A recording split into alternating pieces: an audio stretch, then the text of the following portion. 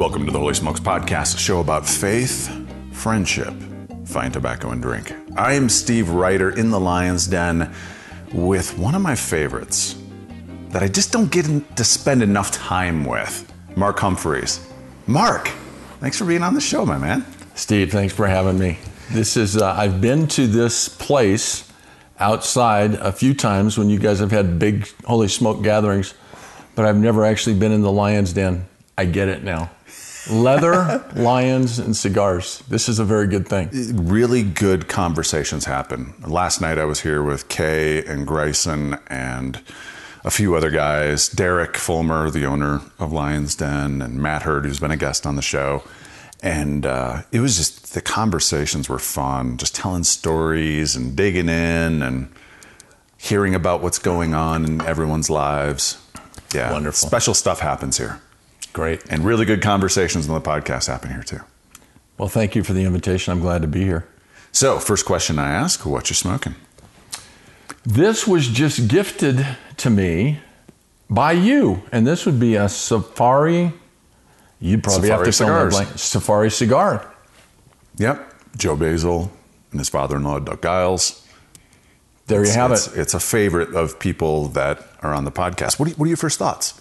Well, for starters, I feel like I've got to dislocate my jaw to get my mouth around it I've never spoke. It's a smoked big. it. It's, a big it's a cigar. Big box press. It's a Yes. very big box press. Yeah, yeah, yeah. And surprised because I thought it would be, uh, you know, I like kind of medium cigars. Yeah.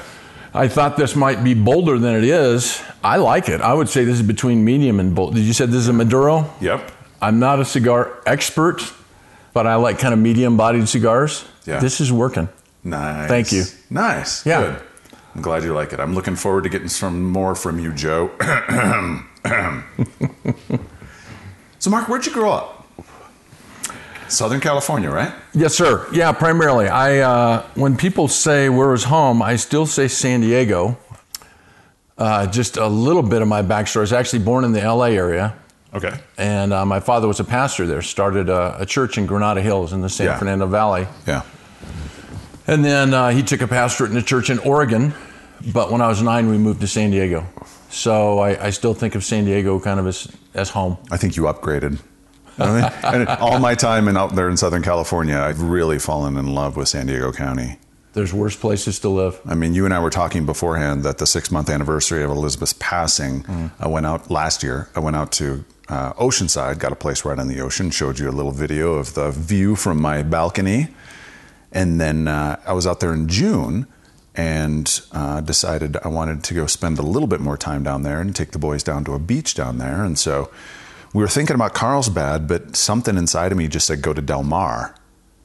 And oh my goodness, those bluffs there in Del Mar, just walking the beach with them, it was so good for my soul. And them too. They, they love it out there, Yeah, you're making me envious. but not enough to move.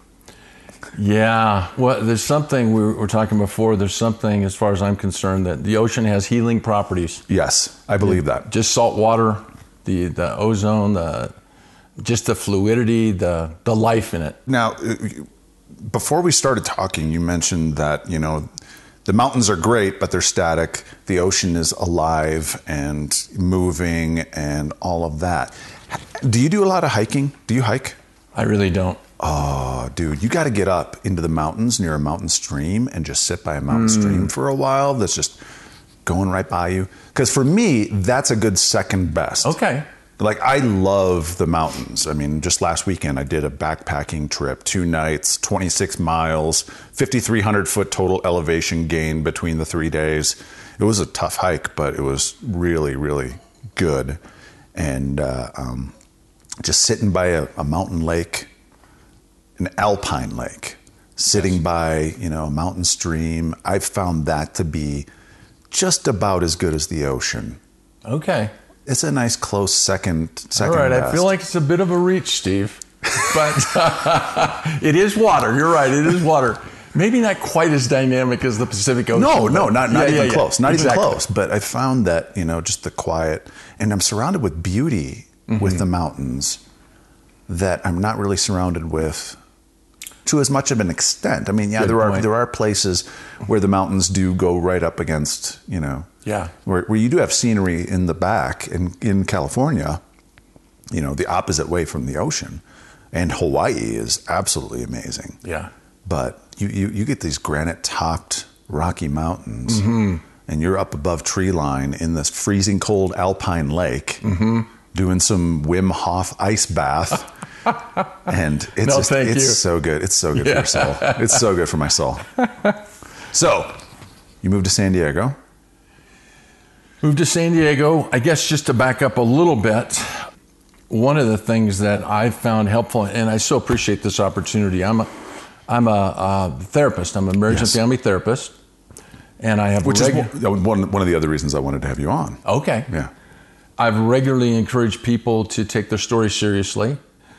From a therapeutic standpoint, there can be a lot of good things happen when people do reconstructive therapy. So this was my invitation. Now, what's reconstructive therapy? Basically, it's it would be reintegrating or re putting together one's story and kind of understanding uh, Okay. who we are based upon who we've been, and trying as best we can. By nature, we're subjective beings, but really trying as best we can objectively to understand. You know, you can build some pretty cool stuff on the fourth story of a building, but by definition, that has to be built on the third and the second and the first and then the foundation. So it can be really helpful to kind of reconstruct one's past and, and try to understand again, you know, why we are who we are. Yeah. But I'm thankful. Um, Elaine and I just turned 67 a couple weeks ago. And that still happy kind of, belated birthday. thank you. Kind of takes my breath away to say that. I, uh, I'm increasingly looking at life as a football game. And with four quarters, if we go to 80, uh, I did the math and I'm well into the fourth quarter. Kind of funny. I was with a buddy not too long ago, and I told him, uh, I told him that, and he's a good bit older than me. He said, "Mark, if you're in the fourth quarter, I think I just heard a two-minute warning." Not even close, bro. Not even close. We'll talk about um, Dr. David Sinclair's book, Health Span. Dr. David Sinclair is a, is a Harvard researcher. I'm actually just listening to it for like, I don't know, the fifth or sixth time. It was one of my top books in 2019. He's a Harvard researcher, and what they're doing is they're attacking aging and trying to slow it down, maybe even reverse it. And they really think that they're they are seeing massive breakthroughs when it comes to that, in terms of regenerating optic nerves and cell regeneration and making mice lives significantly longer. And, and, and it's all with the goal of increasing health span, then lifespan. And so that way you're healthier longer. Dude, you look great for 67. You, you work out, right? You look like you do. I, I try. You try, it looks like you stay in shape. You definitely stay in shape, but Well, I I, uh, I I tell people it may be old meat, but it's tough meat. I'm I'm a competitive handball player, there you and go. uh, that keeps me going these days. I just love that game, and so, yep, it's fun to get on the handball court. nice. So, Well, you can live a lot longer than 80, bro. Trust me. okay, You can live a lot longer than 80 with the stuff that's coming. good news. Yep. So, um, yeah, this was a challenge. It was a challenge, kind of putting one's life together at uh, 67. A lot of water under the bridge, but I, I kind of broke it down into three parts that at least helps me get my Yeah. uh, my hands around it. And so, um, I think I mentioned my dad was a pastor, and um, just to give you a little bit about you know my, the backdrop of my story as a kid, my dad was a Baptist pastor and loved his heart. My dad was um, not only loved God, but he loved truth. My dad, I would say, was just a heat-seeking missile for the truth, all truth, and was very grateful to be brought up in a home where um, he was so intentional about uh, the things of God. And my mom was the dutiful pastor's wife, Baptist pastor's wife, played the piano, uh, juggled balls, spin plates, and rode a unicycle all at the same time. So it's just very grateful for that background and and um, and their intentionality in raising us in the admonition of the Lord. Now, when I hear pastor's kid, I often, because I worked at Focus on the Family for 12 and a half years, and one of my responsibilities for a lot of those years was the tape series Pastor to Pastor. Mm-hmm. Started as a tape series, then became a CD series, and then eventually Focus ended up stopping their pastoral ministries division and stopping Pastor to Pastor. But I would hear stories of pastors' kids, and, and there were really two main categories when it came to pastors' kids. The kids that look back at it very fondly because the parents really protected them from a lot of the church negativity, the church politics, the church expectations, all of that stuff.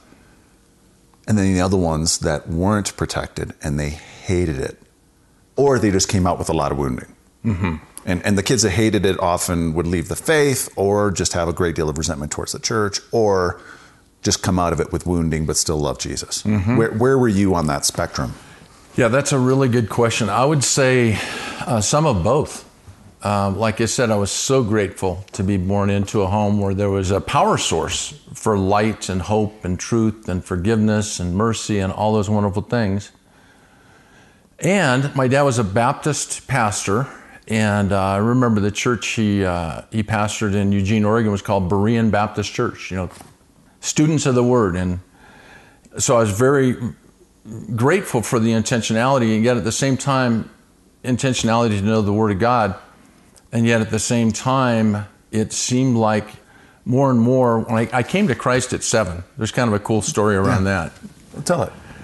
So we are living in Eugene, Oregon, and uh, was uh, in a Sunday school class. You're probably too young to remember. Do you remember flannel graphs, or do you even know what a flannel oh, graph yeah, is? I remember flannel graphs. You do? I'm 47. Okay, all right. I'm, I remember.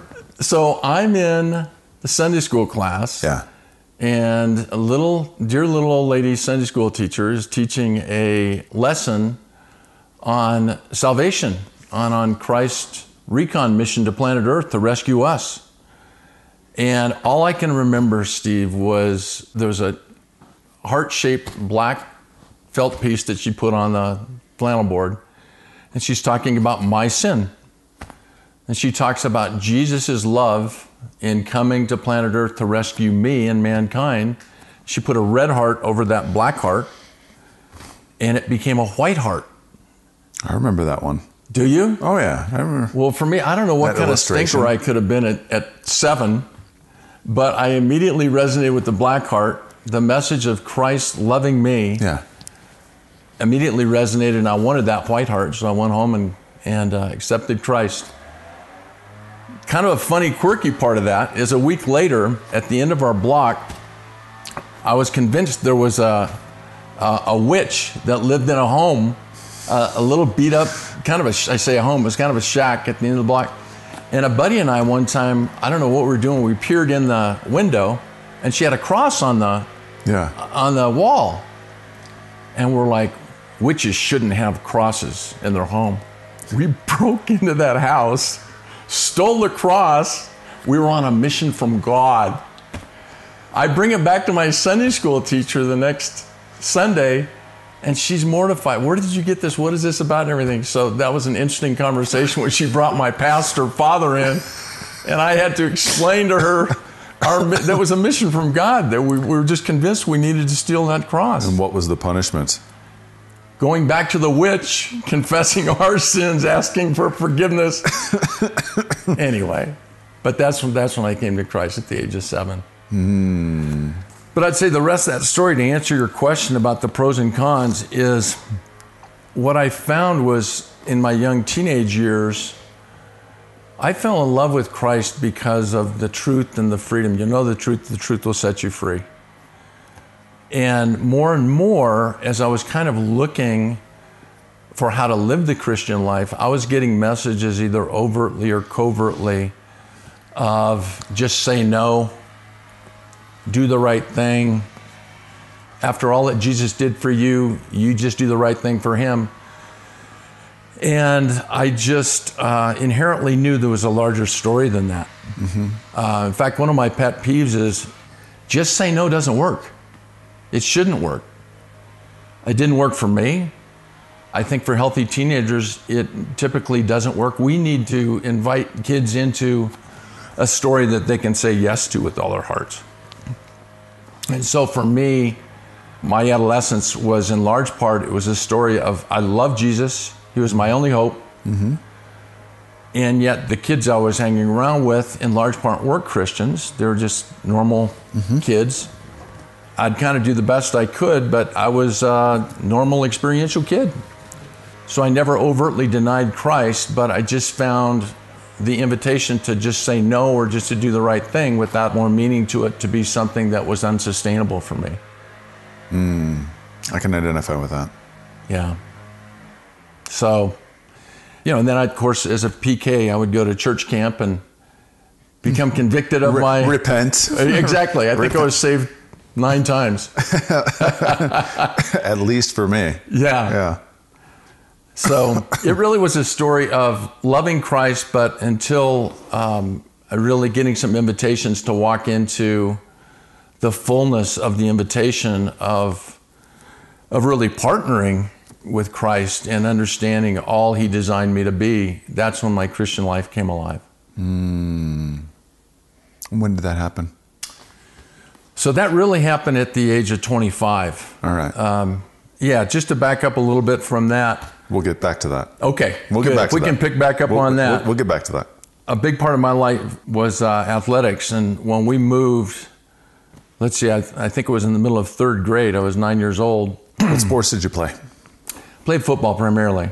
What position? Defensive end? Ooh, I knew I liked you. Ooh, I knew I liked you. That was my favorite. Yeah? Yeah, that was my favorite.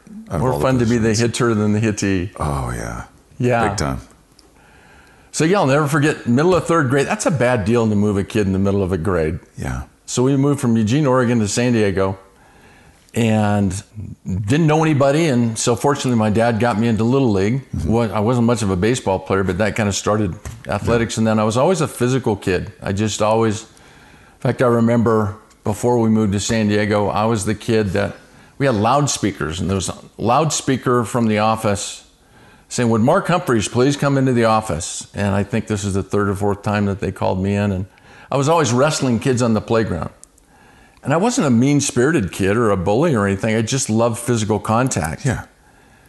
And the principal, I'll never forget this, talking about some of the downsides of PK. I promise this is true. She says, Mark, this is the last time I'm going to tell you, you got to stop wrestling on the playground. Your dad's a pastor. And I'm like, in my mind, what does that have to do with the price of tea in China? You know, it's like, yeah, exactly. let me be a kid. Do you have any siblings? Two siblings. What Yep. number were you in the order? I'm the oldest. I was supposed to be the example. Yeah. I get it. I'm same. You're the same way. yeah, oldest of three. Oldest of three. Okay. Three boys. You? Okay. Uh, brother and a sister. Okay. Yeah. So, Sister's the baby. sister's the baby. Ooh, two big brothers protecting baby sister. Especially a big guy like you.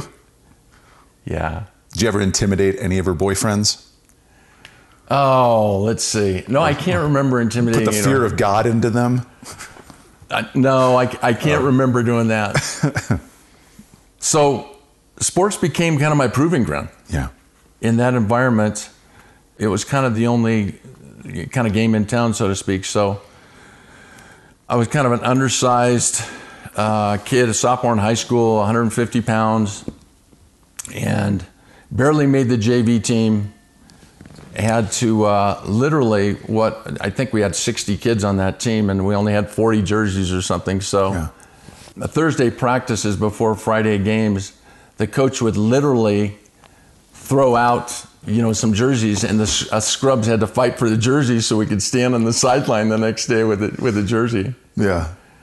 So at any rate, I just kind of kept working at it. I wouldn't say I've got a lot of natural skill and ability, but I just I had a vision to become better and better, and kind of a late bloomer. I had to play JV football as a junior, which was kind of humiliating, as most of the kids as juniors were playing uh, varsity football.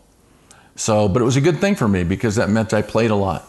And then my senior year, I had gained another 25 pounds, about 200 pounds, and and um, did well my senior year. wasn't good enough to play college, four-year college football from there. So I went to two years at junior college, San Diego Mesa, and really came into my own. Did well, Really? and then uh, yeah, I got a couple offers. I had an offer from the University of Oregon, Wow. and then from Boise State, which is where I went. Yeah. So it was either at that point either lose in the Pac 8 or win in the Big Sky.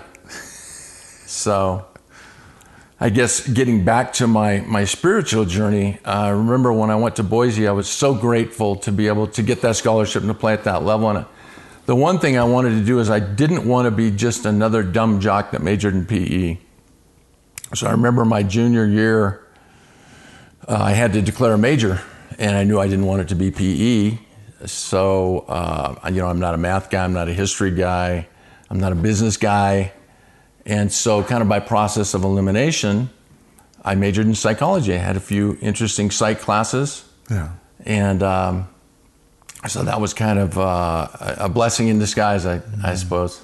So after graduating from Boise, I uh, what do you do with a BA in psych? Uh, so I ended up going back to San Diego. Ended up coaching high school football for a coach I played for in, in high school for a couple years and pretty quickly discovered I didn't want the rest of my life to be football and X's and O's, and I'd kind of been there, done that. Mm-hmm.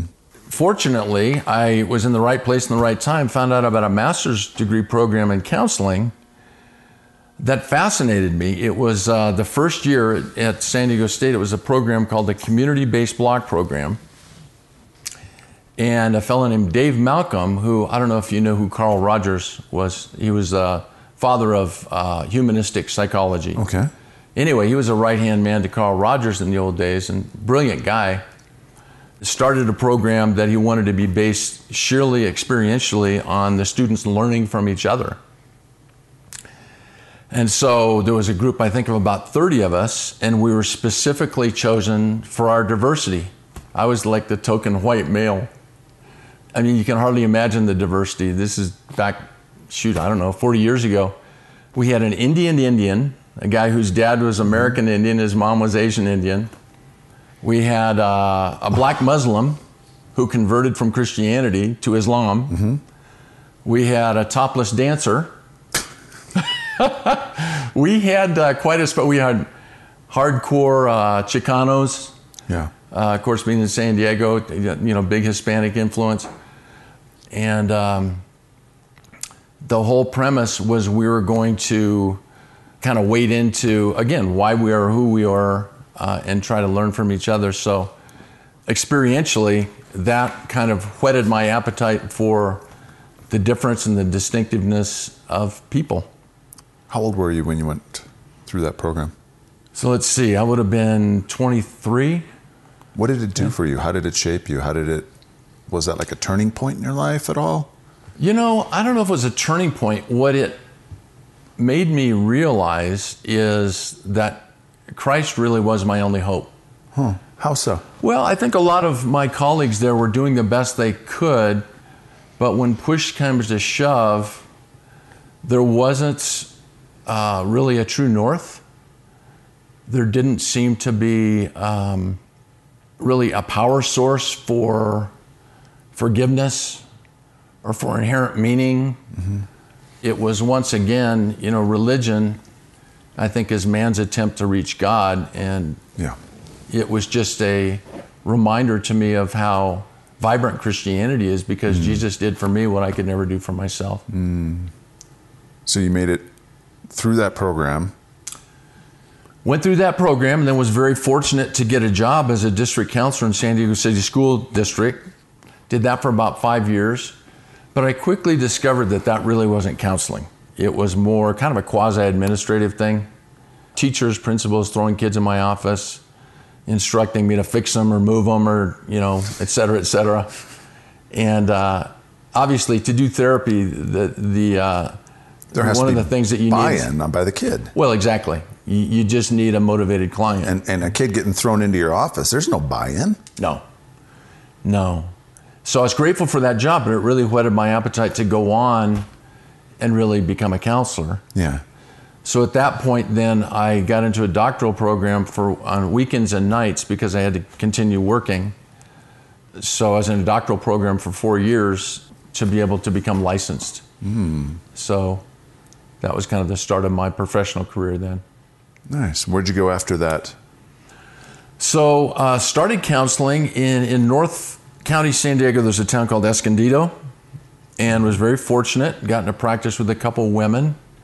Uh, Escondido Counseling Ministries was there for about eight years, and that was kind of the the the center of uh, our raising our young family, and, and I leapfrog right over Yeah. my family. Can I talk about them a little bit? Yes. And then I'll I jump was- back I, in. I would have asked. Okay, very good.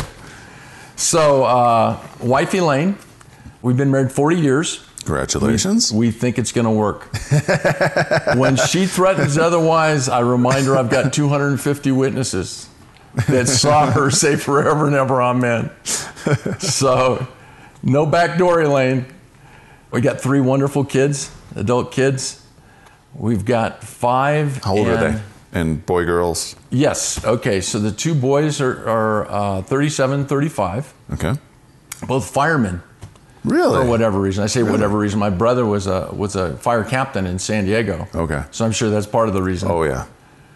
And uh, we got our oldest son lives in Breckenridge, three wonderful grandchildren. Our middle son is single, living in San Diego. And then our daughter, Michelle, who's really my hero.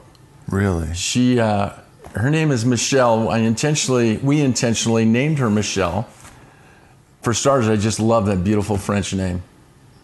Plus, I love the Beatles. Michelle, my belle.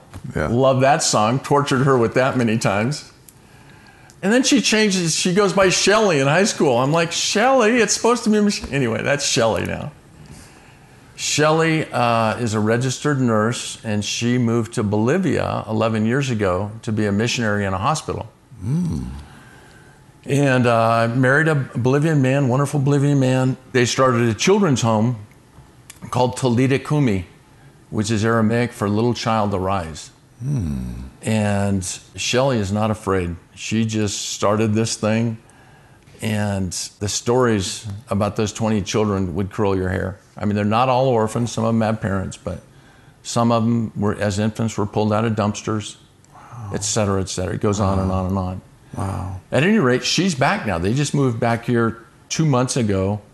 She's becoming a nurse practitioner, and she's still running Talita Kumi. They're still running Talita Kumi long distance. Nice. So, and she's got two of our grandchildren, and next month, in two weeks, she's due with her third. Congratulations. So we're wealthy, wealthy parents with almost six grandchildren. So, nice. so How'd you meet your wife? We met at a Christian singles group in a Baptist church. So two lonely hearts at sea, and I had just come back to Christ at the age of 25, and what I knew that I knew that I knew is that I wanted a woman that loved Jesus way more than me. Mm-hmm. And in this singles group, it was just clear that Elaine was someone who was so sold out to Jesus and wanted to become all she could be in the light of her Lord and Savior. And so that was money to me. It's like I knew enough about marriage to know it's hard, to know it's challenging, and we jokingly like to startle Christians that don't know us very well by telling them that we're both involved with another man. After they're a little mortified and their jaw drops a little bit. of course, we inform them his name is Jesus and it wasn't for him. Yeah. It'd be a, a whole lot harder row to hoe. Yeah. So, So you're raising a family in Escondido. You're there eight years. yes. And we had always been Focus on the Family supporters. Mm-hmm. In my practice, I got a number of referrals from Focus. And we had an opportunity to interview for a job. I Focus on the Family in 1994. And our other motivation to explore that was we didn't want to raise our kids in Southern California. As much as I loved it, it was getting kind of fast and furious, and we wanted to kind of slow down uh, childhood for our uh, kids. So went out, interviewed for a job, completely different field. It was in a field called uh, area called public affairs, and it was basically development. Yep. Um, Donor development. Yes, sir. Yep. And initially, I thought, what is donor development? I had no idea what development or you know this form of fundraising, et cetera, et cetera. So it sounded like a job too good to be true. What they wanted me to do was make friends for the ministry, and I mean, I didn't just fall off the turnip truck. You know, my first question was, and I asked Dr. Dobson specifically. So you want me to make friends with the ministry, right? He's like, Yes. I'm like, How will you measure that? And he said, Well, you know, we really don't have any way to measure. We just want you to make friends for the ministry. And I took him at his word, and that's exactly what I had the privilege of doing for 11 and a half years at Focus. So I had a region, the Northwest, and then they gave me Southern California since I was familiar with that. And So we had some crossover then. You know, I knew Europe, but when did you come? So I started in 97, August Okay. of 97, and I was there until Doc left. And, Okay, I left, and- and, I left with Doc to go help start Family Talk. So I was good. there at Focus 12 and a half years, then another two and a half almost at Family Talk. So Okay. 15 in total for Doc. Outstanding. Yeah, I knew you were there. I don't think our paths crossed while we were I there. would see you occasionally Okay. walk by when you'd have your visitors come in and you'd be showing them the broadcasting division Okay. and take them into the studio, that kind of stuff. Yes. Yep. Yep. So yeah, what a privilege. I mean, in the in the people and the experiences we had. so good. It was so glorious. good. I mean, I mean, I don't know for you. My three Mm. biggest takeaways, and I think I may have said this on the podcast before. My three biggest takeaways were one, the mentoring and discipling by all of these godly men Mm, and women. Mm. Mentoring and discipling by listening to the broadcast, every single working on these broadcasts. Two, being surrounded by every freaking denomination under the sun. Mm. And broadcasting was set up in mm. such a way that we had margin because when the workload would expand and things would hit the fan and we'd have to make massive changes to the schedule, all that, we had the capacity to be able to do that and, and not kill ourselves. Nice. And then we'd go right back down to, you know, the normal workload. And it was during those margins when the workload didn't blow up that either we were being creative or we were just hanging out and talking.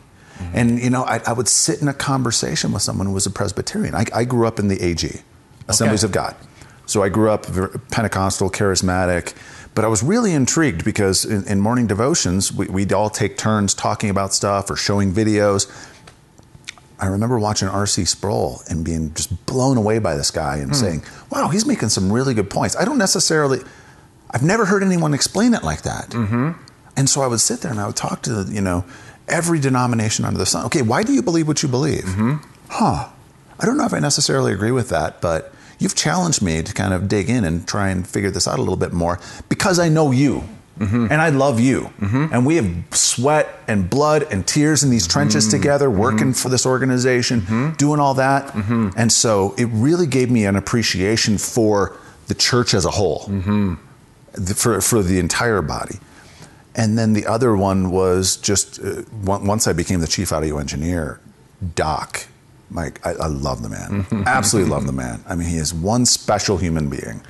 And uh, being around him in the way in which I was as the chief audio engineer, I got access to him in ways that very few people at Focus did I bet you did. because I would fly out to Southern California, we'd record, because we'd be going out to Palm Desert. We had to turn off the air conditioning because you can't have the air conditioning clicking on and off in the middle of a recording. And so we'd crank the air, turn it off, have a ceiling fan. We'd be sitting in shorts and t-shirts, and Shirley make us lemonade. we'd get the stuff recorded, break for lunch, turn the AC back on, lunch and dinner with Doc and Shirley. It was just, it was awesome. That's great. Just great human beings. Absolutely. And, and, and human beings in which I tell people this everything you heard about them in front of the microphone, they were behind the microphone. Mm. I would watch Doc stop a broadcast to get a call from Ryan or Danae or Shirley because it was his family was the most important thing to him. Period. Wow. Yeah, to be able to work, and particularly for you, that closely for a man of that integrity, that's a rare commodity. That's wonderful. Yeah, it's, it's I look back at it very fondly. Yep. And I as well. Yeah, my years, I think I was there 11 and a half years. And uh, very, very grateful for many of the things that you just shared and the relationships on the road and the adventures and et cetera, et cetera. So it's a great section of the road. And I left shortly after Doc left as well. I, I developed a close friendship with a guy in our department who started a ministry to uh, kids in prison. Victor Marx started uh, All Things Possible. Oh, Victor. You know Victor? Oh, I love I love that man. He is such a good dude. Amazing story. Do you know if he likes cigars? Victor doesn't like cigars. I've worked on him. That's a shame. But, you know, we, we- Victor, if you ever listen to this, man, I'm so disappointed in you. Yeah. Yeah, no. The stories about Victor that I could share is uh, He's a character. he is quite a character. So Victor very graciously gave me an opportunity to come with all things possible at the front end. And we were traveling ministering to kids incarcerated. And uh, these are kids in prison. It wasn't juvenile hall, it was prison. You know, as you know, kids can do everything adults can do. These were rapists and murderers and Yeah. hardcore kids. And then the ministry moved to Waco, Texas. So we moved to Waco, Texas, spent eight months in Waco, and that was a ministry that was big enough for my heart because in Texas, being in the Bible Belt there, they, it didn't make them nervous that we were going in these prisons and sharing the gospel. Mm.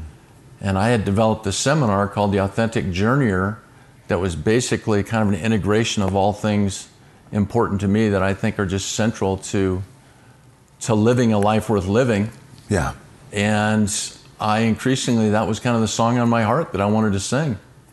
And Victor liked that, so I had the opportunity to be able to share that in prison with these kids, et cetera, et cetera, and loved that. Unfortunately, we got ahead of ourselves financially. So after a year and a half with ATP, I resigned. Mm-hmm. And then we needed to decide what now. I mean, our kids were up and out. They were all in college and starting their lives. And so it was a chance, if we wanted to, to move back to San Diego. But yet, when we, when we kind of stopped and, and kind of assessed everything, really home at that point, because we had raised our kids in Colorado Springs, actually right here in Monument, was mm-hmm. where we raised our kids Yeah. Is uh, in in our church. We had started a home church about 18 years ago that was still going, the Monument Home Church. Many of our friends were still in this area, so we decided to move back to Colorado Springs at that point. Hmm. So that was in 2007. Mm-hmm. So the interesting thing about that chapter in our journey was very few people knew that I was a, a mental health professional. I was a schmoozer. I'm a development guy. Yeah. I'm the guy going out and gripping and grinning and befriending people for the ministry. Yeah. But what I loved about the job back to focus was that when some of our uh, uh, donors found out that I had a mental health field background, They would talk to you yeah, and talk to you about things they wouldn't talk to about any to anyone else. it, it's true. Wow. Uh, You've heard the old adage, it's lonely at the top. When, when you were hired, did Doc know that you had that background? I don't think he did. Oh my gosh. I don't think so. I am blown away that Yeah. because because I know how much Doc loves and appreciates professionals in the mental health and Mm-hmm. and physical health. I mean, doctors, nurses, psychologists. He has a great deal of love and respect because he worked all those years at Children's Hospital Sure. in Los Angeles. yeah, of course. And and I am really surprised that I mean, you you weren't his golden child because No, I, and to tell you the truth, I don't think we've ever had that conversation. wow, I wouldn't be surprised if Wow. he ever knew that. wow, Yeah. So, but it was wonderful, Steve, because I got to do the best part of my job mm-hmm. as a counselor, getting to know people at deeper levels and knowing and being known by them. It was appropriate then to be mm-hmm. known by them. Really, the job at Focus, after I think at that point, before I took the job at Focus, I had been in counseling for about 13 years. It really felt like an invitation to come out and play. really, Yeah, just to be me really, fully, as opposed to in a clinical setting. Clearly and appropriately, it's all about the client. Mm-hmm. But truly, the best relationships really occur around knowing and being known. Mm-hmm. So, this was that opportunity. So, it was all the, the joys of getting to know somebody else and then getting to be known by them without the clinical responsibilities, you know, or you know, being concerned about people's mental health and, and some of the things that go with that. So I, I'm just so thankful for that opportunity. So, how was that transition back here? Did you get hired on by a, uh, an office here, or, Yes. or did you start building your own book of business? It's a really good question. And it was really scary, frankly, because I didn't have connections with other therapists.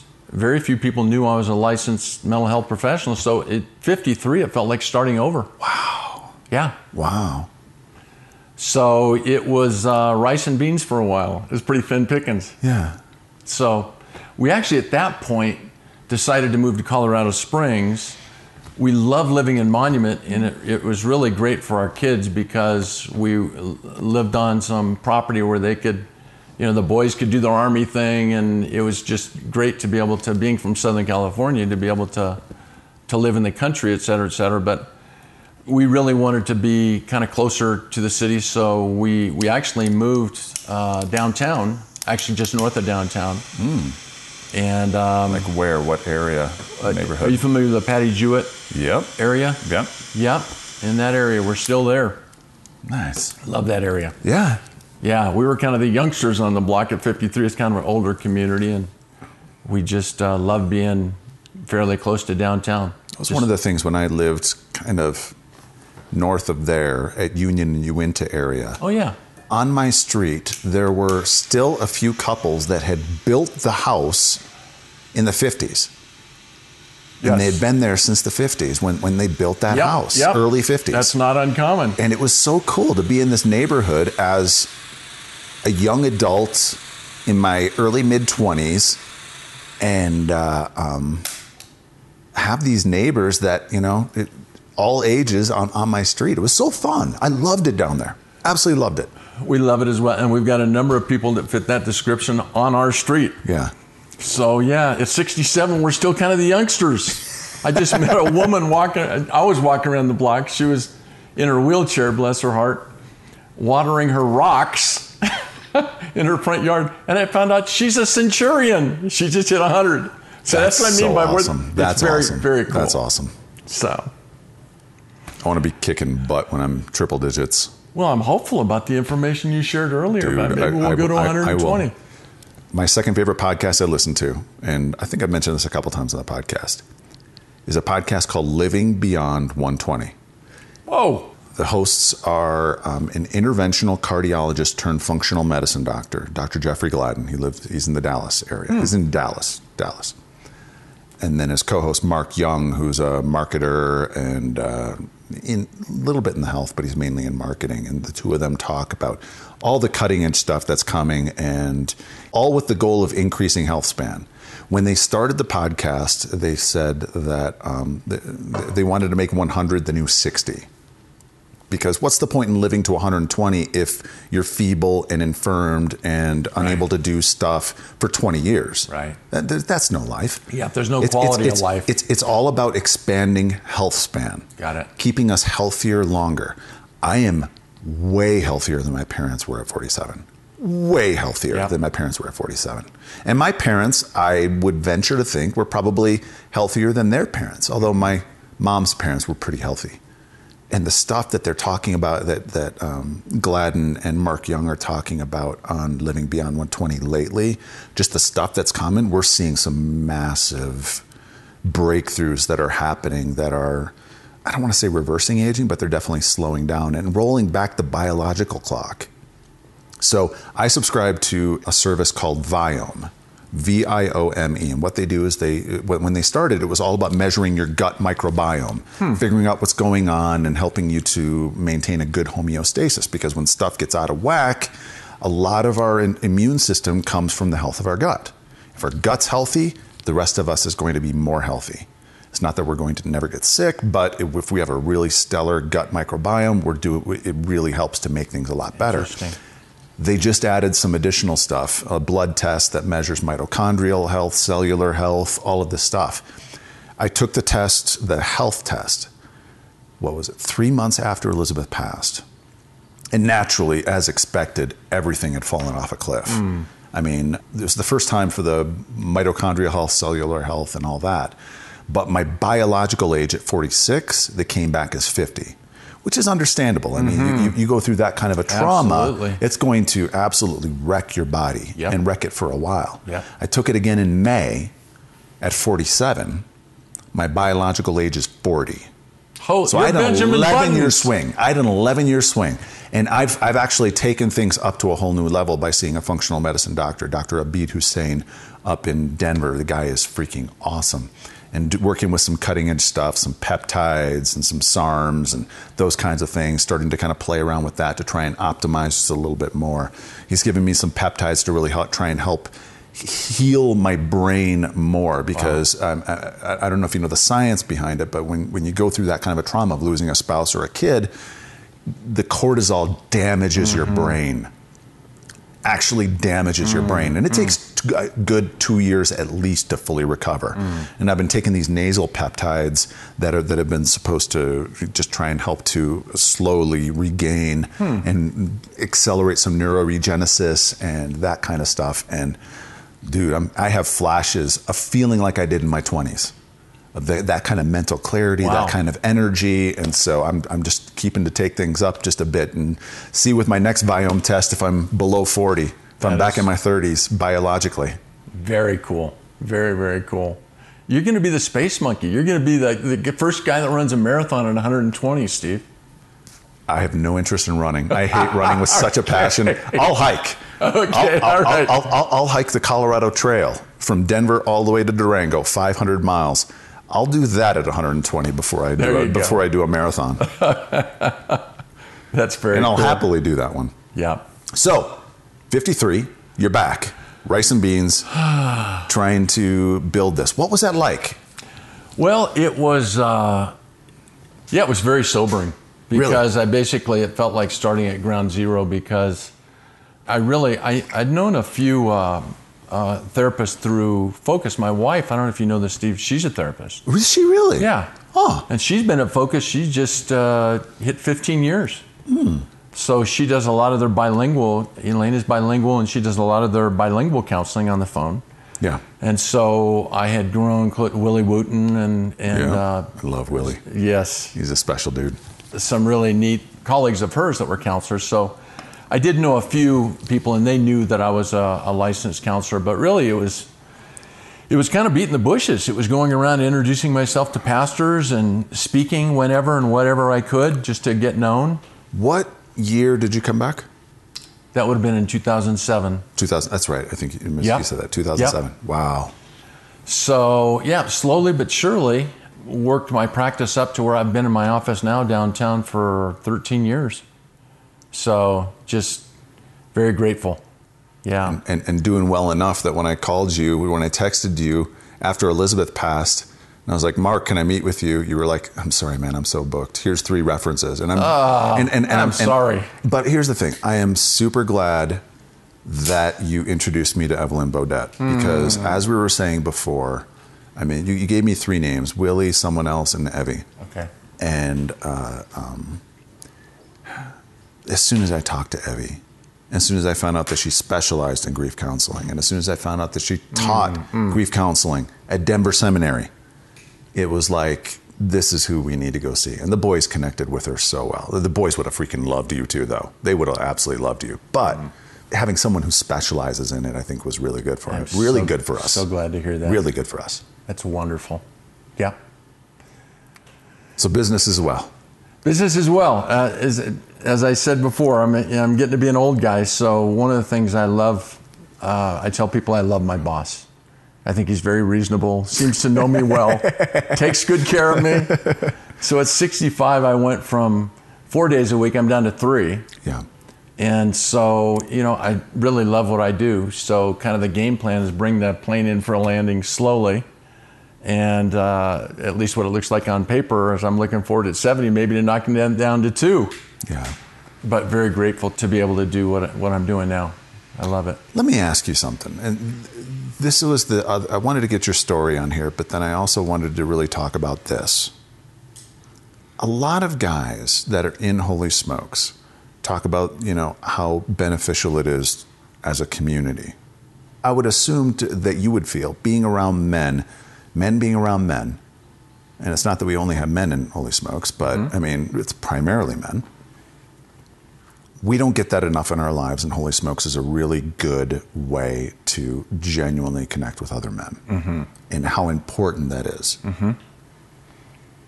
At what point should someone consider therapy, counseling for stuff that's going on internally? Mm. Because I know that there are men listening right now that feel like this is good, but there's still big stuff in there that they don't know how to work with, whether it's mm-hmm. childhood trauma or mm-hmm. anger issues, porn addiction, sexual addiction, whatever, what mm-hmm. secret alcoholism, whatever. Is there any kind of advice you would want to give listeners to kind of say, this is the point at which you really should mm-hmm. find a counselor? Right. And how does someone find a good counselor? Because as someone who has worked with a child psychologist, worked for a child psychologist for all those years at Focus and Family Talk, there are good counselors and there are not good counselors. Mm-hmm. There are counselors that are a good fit and there are counselors that are good but are not necessarily a good fit. Right. Yeah. No, that's a really good question. And I guess I'd start by, you know, one of the things that I think that Holy Smokes offers is the opportunity to know and be known. And again, I'm, we've got women in this group too. I think that's wonderful. But for men, I know that fellowship in the basement, eating uh, donuts and drinking coffee wasn't scratching a word itch for me. And there's nothing wrong with that but there's just something about the venue of being able to be with guys and do something that we really enjoy in more of a natural venue that that lends itself to I think more vulnerability and authenticity. So I think it was Larry Crabb that said that you know if the church was doing its job more functionally and more wholly that it would put a lot of counselors out of business. So, in other words, there is a time and a place for professional counseling. And yet, at the same time, if we are willing to know and be known more just in natural circles, I think a lot of those deeper needs are going to be met. I remember a counseling professor of mine said, I don't know who discovered water, but I'm certain that- it wasn't a fish, right? I mean, we're so immersed in our own stuff Yes. That we're going to be the last people to probably see it. And so, you know, just the opportunity to be in safe settings where people are curious about our stories. I think one of the most effective ways that we can affirm someone is simply to be curious about their story. Because the meta message there is you're interesting. You've got goodies for me. Tell me more. Uh, there's something about just that pursuing somebody that in and of itself is affirming. Mm-hmm. And so I guess I'm taking the long way around to your No. question. No, no. But I think it takes at least two to know myself. In other words, I'll never forget this is a hilarious story. Uh, I was annoyed initially, but I had a young man in my uh, practice who came in. He was probably 30. This is maybe four or five years ago. He sits down and and within about five minutes he says, "Well," he says, "Well, Dr. Humphries," he says, "I've seen something about you that you've never seen." And I'm thinking to myself, this cocky, cocky guy. I said, "What would that be?" He says, Your face. I said, My face? I said, I may not like it, but I got to get up every morning. I look at this ugly mug in the mirror. I've seen pictures. He says, You know, you're making my point. I said, What's your point again? He says, You've never seen your face. All you've seen is mirror images or photographic images. And I thought, Damn, he's Wow. right. Wow. So it sounds like a silly point, but it's actually a very profound point. Hmm. I've never experienced me. I am me. So it takes trusted brothers, please be kind. but that's really the deepest end of therapy is trusting someone enough to know how they experience you. And so you don't need to be a trained professional to do that we can all do that with each other. If there's the safety, the curiosity, the vision for why that's even important to help us live a qualitative journey going forward. And so that's something that I think is just uh, invaluable that a group like this seems to lend itself to. At what point does someone need to seek someone out? Professionally? Um, I would just say, you know, some of the obvious things are, you know, trauma's a killer. There's been so many studies that, well, you mentioned it earlier. It affects your brain chemistry. There are theories, and I think they're true, that that people retain traumatic memories at a cellular level. I just shared on Facebook. They're showing that scientifically. Mm-hmm. And I really posed the question. I said, I've, knowing what I know about epigenetics, mm-hmm. I'm not a scientist by any stretch of the imagination, but I do a ton of reading and I'm mm. fascinated with mm. science. So I read a lot about science, I read a lot about business, I read a lot about biographies. Those are like my big three that I read mm-hmm. science and health. And I've hypothesized for years, having friends that are new age, believing in past lives and all that. And I've really hypothesized what if those memories that they claim to have mm-hmm. are just simply generational trauma passed down? And they're showing mm-hmm. scientifically mm-hmm. through mice that these fears can be instilled in parents and it's thus passed down to future generations. It's wild stuff. It's crazy. Mm. Absolutely crazy. But it also lends credence to the sins of the father shall be passed on to the seventh generation. Yeah, it's real stuff to be sure. So yeah, I think it's it's kind of funny. Part of my uh, counseling training was I was required to be a client in a counseling relationship on, in my master's program, and I'd never been in counseling before, and so it was a wonderful opportunity to be the client. And it was a woman. I'll never forget San Diego State. I think it was five or six sessions, and about the second session, Mark, she says, I don't want to correct you, but I do need to tell you something because one of the things that was happening is when she was regularly pursuing me about me and my story, I would always ask her at the tail end of that, Well, how about you? What about you?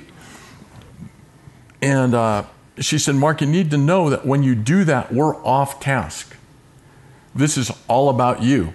And what she helped me discover is one of my pet peeves had been people that had always talked about themselves ad nauseum.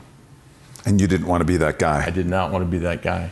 I was so super sensitive to that that I would really pretty rarely, I kind of overcompensated. I'd rarely Yeah. talk about myself at all. And when she gave me not only permission but encouragement, this is about you. Man, I took that ball and run, but I tell people, man, she fixed me so good. I've been talking about myself ever since.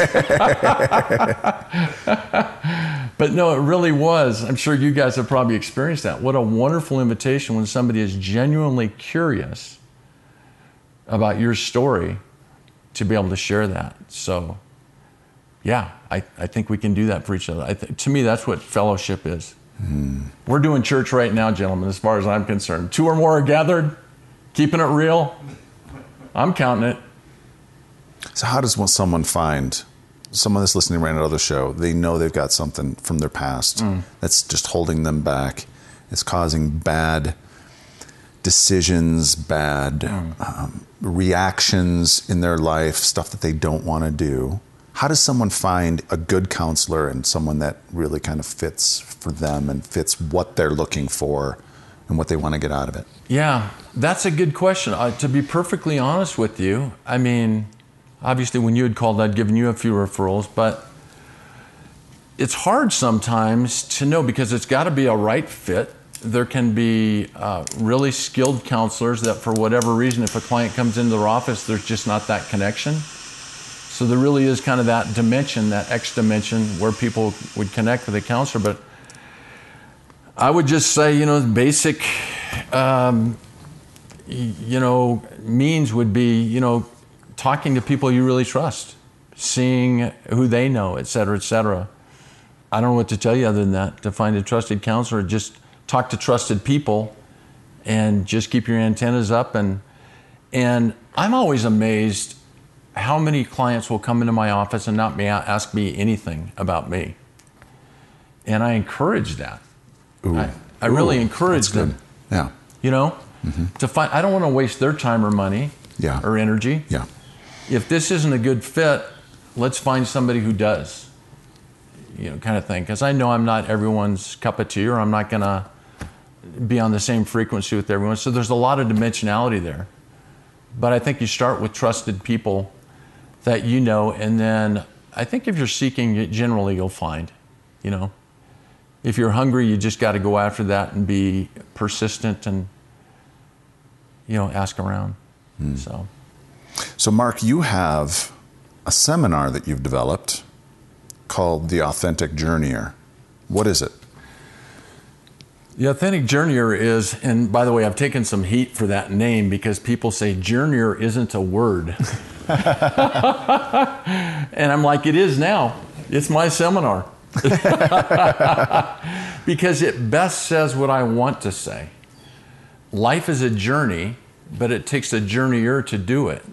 So the authentic journeyer is all about one's personhood. And the subtitle of the seminar is Examining Our Lives to Live and Love Well. I would say it's an integration of what I feel are the most vital truths in life to do that, to live and love well. Interesting fact I think most people love the idea and the notion of being a person of integrity. I just love the word, I love the way it sounds. It's strong. Integrity. Integrity is the root word of the word integration. Mm.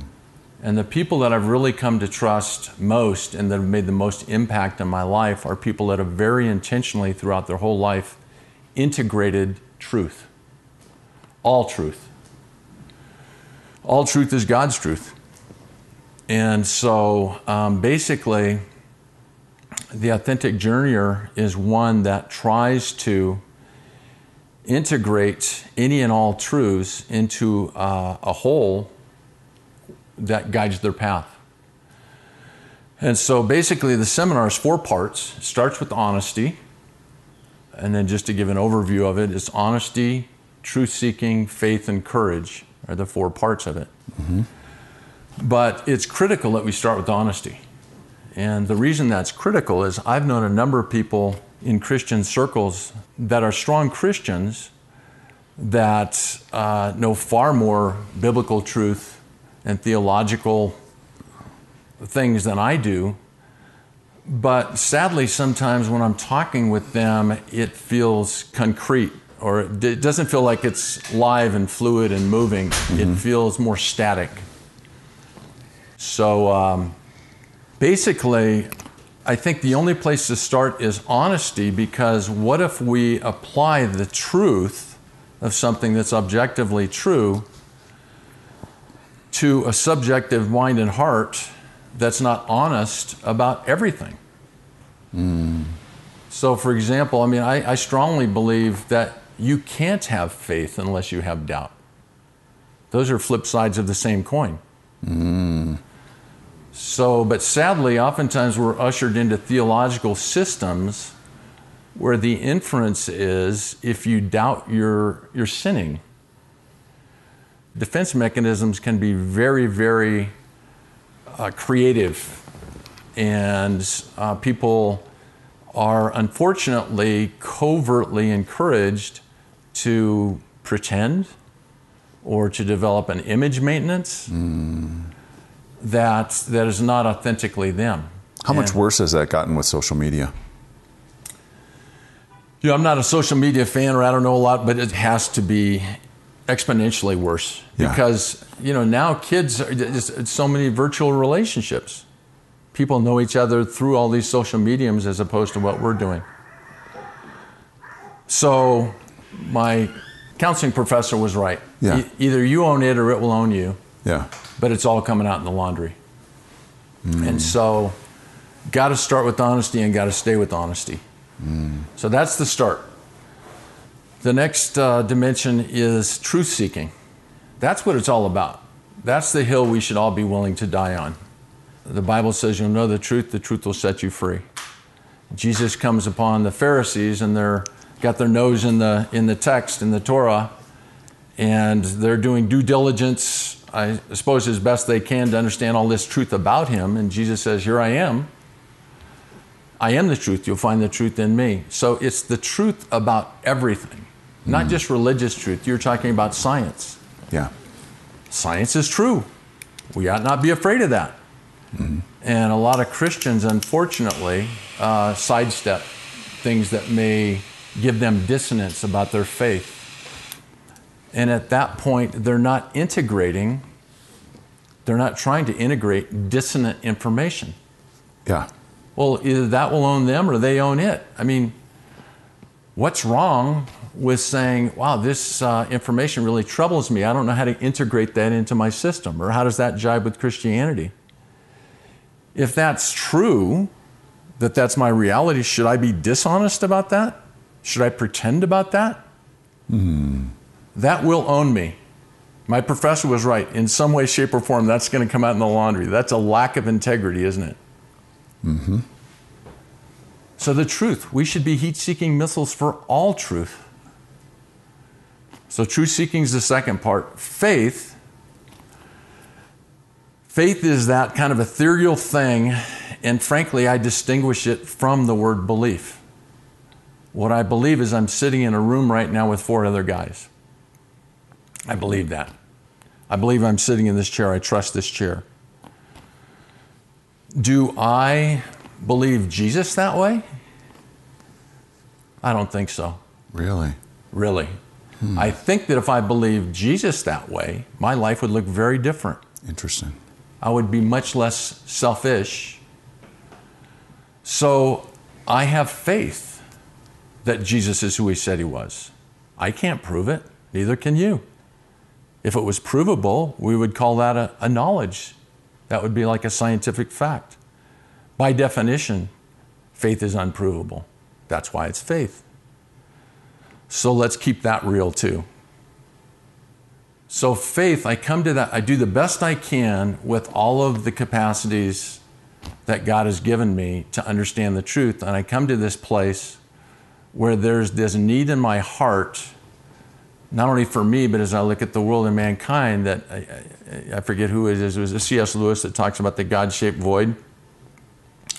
And we hear this wonderful story about Christ, who um, was the expression of his Father, who comes on a recon mission for us on planet Earth to show us the way that this is to be done, to redeem us. But I can't prove that. I mean, his disciples walked with him and some of them bailed. So to me, faith is that desperate part of my heart that so needs that God shaped void filled. And when I hear the story of Christ, it so deeply resonates with my heart. And it's a believable faith, it's a rational faith. He was here 2,000 years ago, 33 years, uh, et cetera, et cetera. So I am now choosing to act like that's true. That's the courageous part. Even though I don't know that's true. I doubt from times. I have dissonance. But he's my only hope. And so faith to me is acting like it's true. I was trained in a model of psychology called cognitive behavioral therapy that's a study of how our thoughts, our emotions, our behaviors, and even our physiological reality are all intertwined. And they, by definition, they affect each other. We're whole integrated beings, so we're conditioned. Mm. So as we learn how those different things function, we can begin to get a better understanding. You know, the Bible says, take every thought captive, for as a person thinks, so they are. So if you liken those four parts of that model cognitions or our thoughts, emotions or feelings, behaviors or actions, physiological, and the physiological thing, unfortunately, sometimes Christians, for whatever reason, they minimize that part, physiological, but as you were talking before, Steve, it's such a real dynamic. You're talking about the science of what goes on in our brain chemistry. Fight, flight, or freeze. Mm-hmm that's a very real thing. So we understand all those things, but so we can then examine our thoughts to understand why the best lies always have a little bit of truth in them. Mm-hmm. And in, in, cognitive behavioral terms, that would be called a cognitive distortion or mm-hmm. a thinking error. I've heard some people call it stinking thinking. Mm-hmm. So if the thoughts are the locomotive and the locomotive is pulling us in the wrong direction, don't be surprised if you have emotional ramifications and then behavioral ramifications about that. Yeah. So I love CBT because it lines up well with the Bible in terms of take every thought captive. So the bottom line is the, the end of the authentic journey is to try to act courageously given our convictions, to keep it real, to be honest, to try to be men of faith, to try to abide and obey, which by the definition, that's how we win in Christian terms. Winning in Christian terms is simply abiding and obeying. Yeah. As opposed to getting the most scalps for Jesus. Yeah. Or et cetera, et cetera. So that's that's a real That's cool. real uh, thirty thousand foot overview of the authentic journeyer. And where do you give this seminar? Wherever I can. I love men's uh, retreats. I've gotten to do that upon occasion, and you know, three day weekend where guys, just like we're doing right now, cigars and good whiskey, keeping it real, talking about our owies. I'll end on this. For me, courage. I always used to think encourage is kind of a weak word. I want to encourage you. You know, I just want to encourage you to do this. I was in a in a men's group where we had the privilege of a dozen other men where we were very intentionally there to talk about what was hamstringing us as Christians. And we very intentionally shared that. And what I loved is when I told my story about my dysfunction, some of my addictiveness, et cetera, et cetera, these guys let me tell my story. Mm-hmm. They didn't try to rescue me or anything else. They heard the whole story. And then what they said is, well, Mark, I don't doubt that's true, and that's rough. I'm sorry you're wrestling with those. Can I tell you what I see in you? And it was as though they reached in my gut bucket and they pulled out, I see honesty. I see courage. I see a good man who's really struggling. Mm. They did for me what I couldn't do for myself. Ooh. So yeah. the root word of courage is we can do that for each other where we're reaching into each other's gut bucket and saying, Steve, you know what? That may trip you up from time to time, but can I tell you what I see too? So, in other words, it's not an either or. I'm not minimizing your struggles. Yeah. However, I also see a good man who's yeah. in a dogfight. And, bro, I want to encourage you to continue that tenacity. It's worth the fight. Mm. That's a little bit about the authentic. All right, holy smokers. He's doing it at men's retreats and such. So if you have a ministry that's doing men's retreats, Rod Jones, and anyone else, consider bringing Mark out as a speaker to talk about this if this has ministered to you. Mark Humphries, let's get to rapid fire questions. Hey everyone, before we get to the rapid fire segment, I wanted to talk about a way that you as a listener can support the show and the growth of Holy Smokes by becoming a monthly supporter at patreon.com slash holy smokes. Patreon is a support platform, and for as little as $5 a month, you can get bonuses like ad-free versions of these podcast episodes, Holy Smoke swag like t-shirts, and more. That's patreon.com slash holy smokes. We're looking to get 40 Patreon supporters at an average of $10 a month. And once we hit that, we'll be able to pay for all the costs for hosting, editing, writing, posting. I won't be paying for that out of my pocket or through the volunteering of my own personal time. And as we grow that number to 100 and 150, 200 patrons, We'll be able to do two shows a week, hire a part time assistant and web developer, record on location and around the world, and more. I want to visit groups and get those stories from so many of you listeners that I hear from. I want to go to Seattle, and I want to go to Dallas, and I want to go to Charleston, South Carolina, and I want to go to Kentucky, and Chicago, and Phoenix, Atlanta, DC, Charlotte, back to Southern California, and more.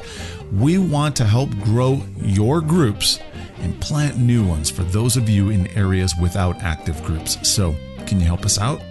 Become a regular supporter at patreon.com slash holy smokes. There's a link in the show notes. That's patreon.com slash holy smokes. Or if you want to make a one-time tax-deductible gift, go to paypal.me slash holy smokes club. That's paypal.me slash holy smokes club. And both of those links are in the show notes. Thanks.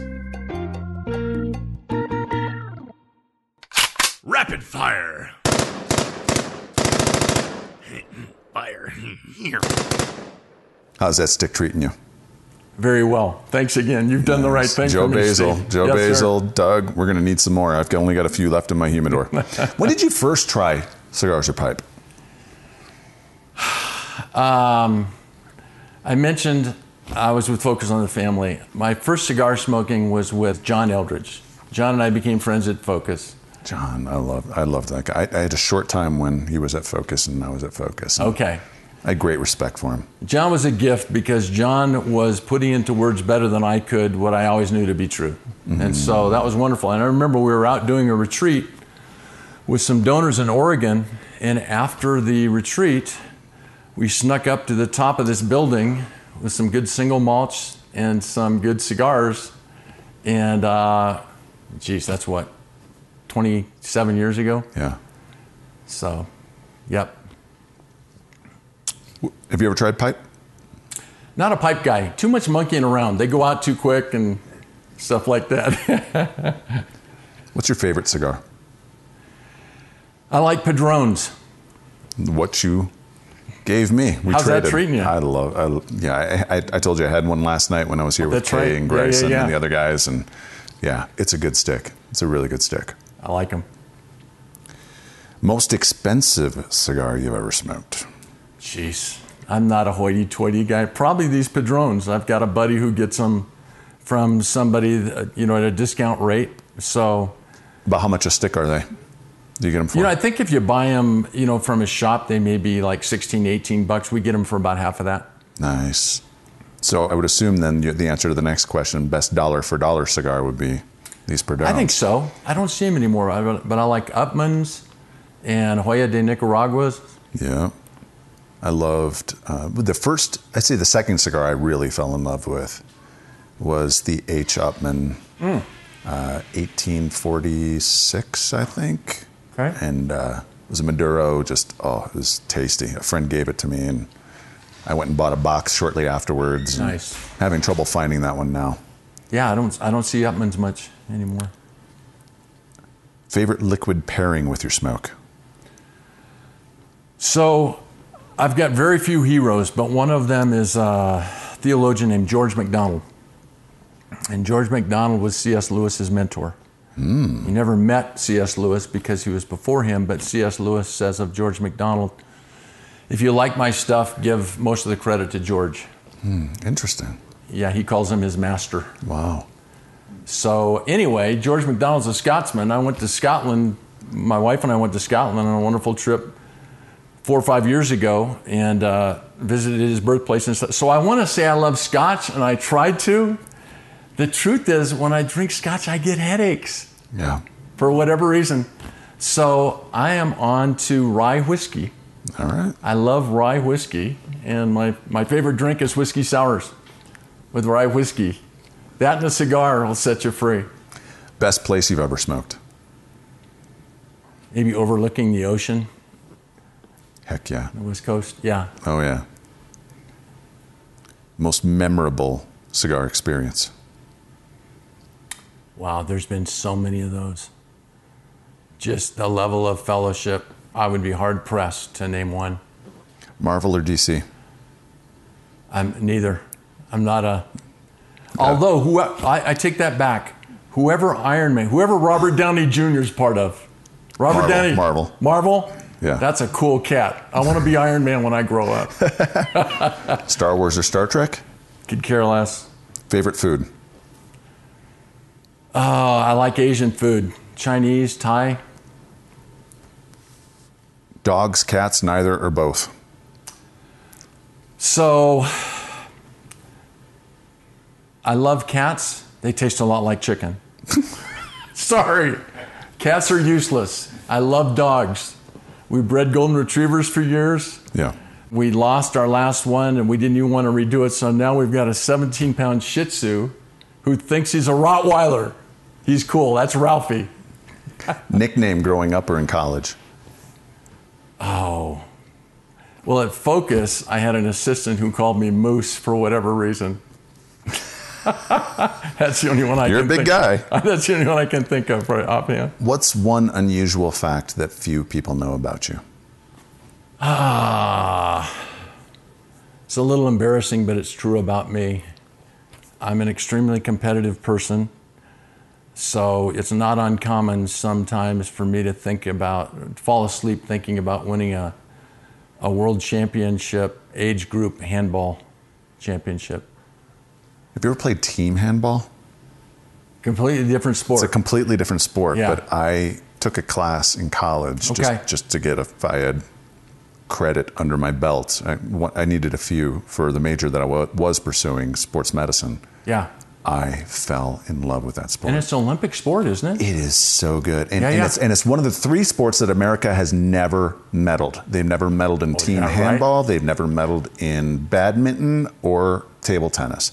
Those are the three. Interesting. And team handball is such an exciting sport. I challenge anyone that's listening to this show right now pause this, go to YouTube, type in team handball highlights, watch a few highlights. It's an exciting sport that I am really surprised America has not gravitated towards because it's like it's basketball with a little bit of kind of uh, you're, you're throwing the ball into a goal so it's got that like soccer goalie Yeah. kind of thing going on and you've got a, a perimeter around the goal that you can't go in so you, you run in and you leap in and you throw it and it's just it's so exciting. It's such a fun sport to watch. Every olympics i watch i'll try and devour as much team handball as i can because what I really it's it's big in Europe and especially in Germany and and the next time I go to Europe I want to go back during team handball mm, season mm. and watch a professional game because it's just it's an amazing sport. Mm. So favorite 1 to 3 books not titled the Holy Bible. Oh, that's easy. Unspoken Sermons by George MacDonald. Ooh. Why? Oh, talk about integration. Talk about honesty, truth seeking, faith, and courage. It's the epitome. It's a man that's in love with Jesus and not afraid to tell himself the truth about everything. And that his journey in terms of integrating all of that. Hmm. Other two? There's a book called The River of Doubt. It's about Teddy Roosevelt after his presidency, where Teddy Roosevelt, this is a guy who, when he became president, he lived large. It wasn't just about politics. He wanted to find out what it was like to have his world rocked by the heavyweight champion of the world. So he invites Jack Dempsey. I think this is true. If it wasn't Jack Dempsey, it was another guy like Boxer that. at the time. Yeah. They wrap him up in a mattress and he says, Go to work on me, Jack. He's that kind of guy. And so The River of Doubt is a story about him at 65 or something with all these hardcore young adventurer going down the deepest, darkest, unexplored river in Brazil through the Amazon jungle. Crazy good book. It ended up killing him, sadly. You know the story. I've read three, I think, Teddy Roosevelt biographies, and I'm about to start, I believe it's Edmund Morris's trilogy. Edmund Morris has three books, and, and I just requested the final one from my library, and it just came in, and so I'm going to start devouring them. I'm fascinated with TR as, as a human being. Oh my I mean, I mean, such a great human being, yet his faults. Mm-hmm. I mean, his faults when his wife died, and the way he really abandoned his daughter Alice, and really never was the father that she needed.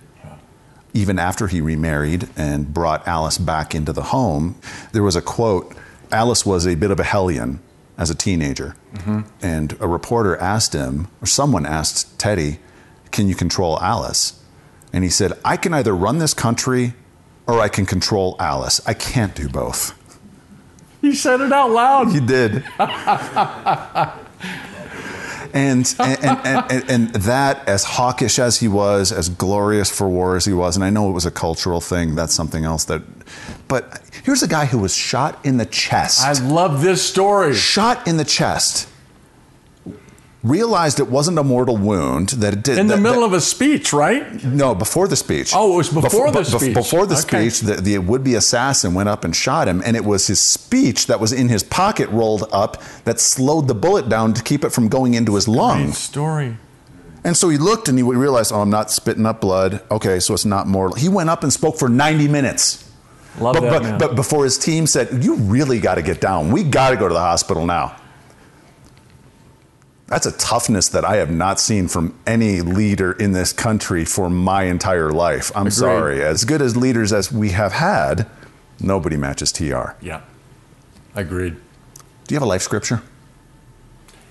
Believe it or not, it's pretty innocuous, but it means the world to me. Colossians 2 6. As you have received him, so therefore walk ye in him. And the reason that's huge for me is because when I finally came back to Christ at the age of 25, I was a broken, desperate man. Hmm. And I received him in that mode. And the challenge is, I think for all of us, how do we stay hungry spiritually for true life when we're so full with so many other goodies? Yeah. Who's been the greatest influence in your life? George MacDonald. Ooh. Easy. Final three questions.